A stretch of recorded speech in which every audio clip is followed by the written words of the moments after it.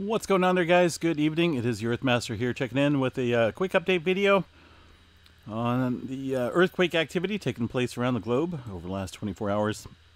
It is uh, Thursday evening, November 4th, 2021 is the date, about 8.52 p.m. California time. Latest quake, a 3.0 earthquake striking out here around the Puerto Rico area little swarm of movement taking place in there. Also, a bunch of deep, deep earthquake activity kicking up around just south of Japan and also around the Fiji Islands area. Seen some uh, some pretty significant deep movement over the last 24 hours.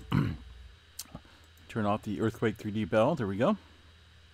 Man, did we have a significant uh, solar storm last night kick off uh, looks like Southern California, parts of Southern California, or I should say all the way down to Southern California, seen, well, the Aurora Borealis. I want to show you guys right, right off the bat real quick here from the spaceweather.com uh, website. So auroras in California, believe it. Last night, the glow of a strong G3 geomagnetic storm spread almost to Los Angeles. Uh, looks like aurora chaser uh, this individual right here took this picture just outside of Lincoln, California. That's way down south of me. Of course, here in Northern California, we had some uh, cloud cover and some rain, so I was just out of luck when it comes to potentially seeing the Aurora Borealis here in California. Uh, looks like things have mellowed out and calmed down, but we did see some KP indexes up above the 7 threshold, right around 7 or so. Looks like uh, some of them were just slightly above the 7 KP index. Since then, things have calmed down dramatically. Looking at the sunspot activity, only uh, right now just 25% chance of solar flaring on a C flare status. As you can see, the facing Earth or the facing sun side got some sunspots here, but they're kind of diminishing back around the uh, uh, sun here. On this side, we'll get some uh, better views of what's coming at us within the next few days. We'll see if things uh, kick up once again with sunspot activity uh, on the beautiful uh, star called the sun. Looking at Yellowstone thumbnails real quick, this is the Yellowstone overview of the seismograph stations in uh, Wyoming. Not a whole lot going on, folks. Doesn't look like much at all, if anything. No microquakes really to report, and of course, no magma movement all GPS stations look typical and average for this time of year, and uh, things pretty mellow there at Yellowstone National Park. Uh, zooming in to the uh, United States here with a 2.5 and above map here shows a couple earthquakes throughout Idaho, Washington, and into parts of northern California. The all magnitudes kind of painting a little bit uh, more active picture. Utah, north of the Salt Lake City area, seen a little swarm of movement around the border of uh, Idaho in Utah. Just a couple small micro microquakes well northwest, and these are pretty shallow as well. Well northwest of Logan, Utah. Things in California kind of calming down. We don't see a whole lot of movement, or we haven't seen a whole lot of movement over the last 24 hours. This kind of looks uh, very quiet.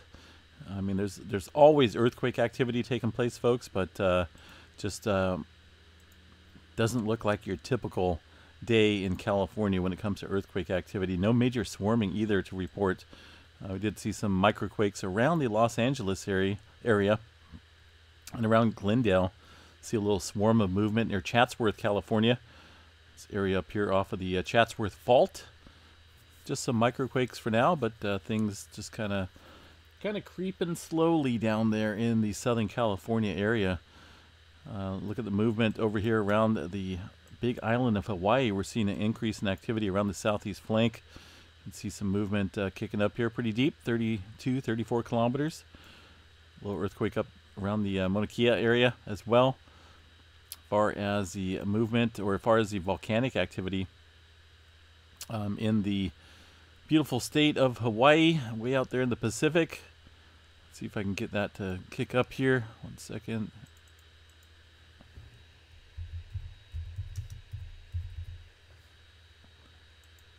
Could have swore I had a shortcut for that, but maybe I didn't. We'll see.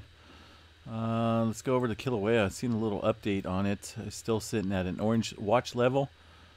Um, looks like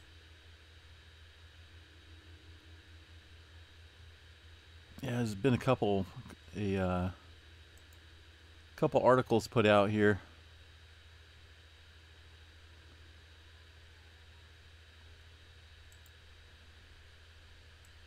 I don't think we we've seen any major any major change yet at the Kilauea area.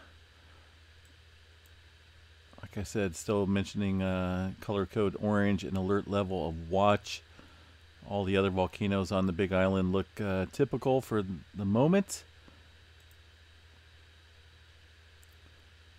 Let's look at the uh, PNSN network real quick here.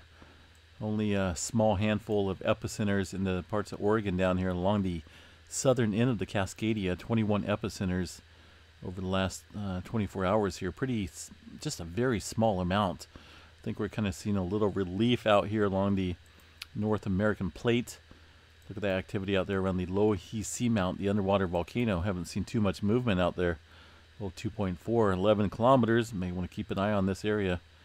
Things could be uh, ramping up there on the Big Island and offshore.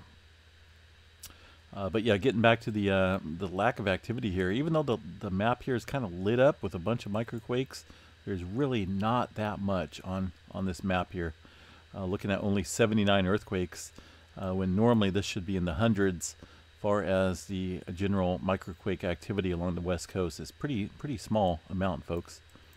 Um, Alaska kind of swarming up there. That's very typical for this area. Looking at uh, 5.2 along the Aleutian Trench, 35.8 kilometers. Japan, quiet.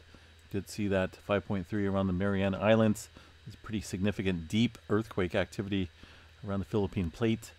Uh, 564 kilometers for that earthquake. Some further deep activity along the southwestern part of the Pacific Ring of Fire through New Zealand, New Zealand, and also, uh, uh, well, just south of New Zealand, 5.5 at 10 kilometers. So, uh, watching that area pretty closely as well. The Kermadec Trench seeing some deeper movement in the uh, southern part and also to the north part as well.